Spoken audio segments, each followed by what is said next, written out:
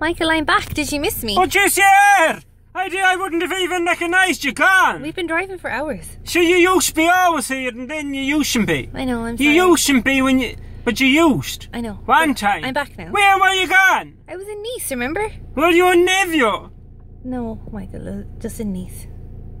That's a good joke, isn't it? Yeah. I do like a good joke. Yeah. I hate the French. Why? I saw one time I went to the French school. And so they told me, I said, I'm fluent in the French. They said, should speak it. And they said I couldn't. What What did you say to them? Je m'appelle uh, Michael. Right. Je suis a student. Uh, okay.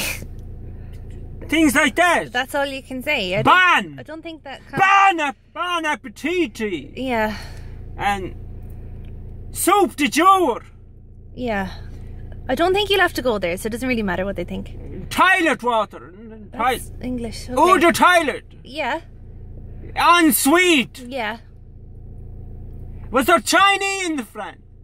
Chinese. The Chinese. Michael, I was in France. You're so obsessed with Chinese.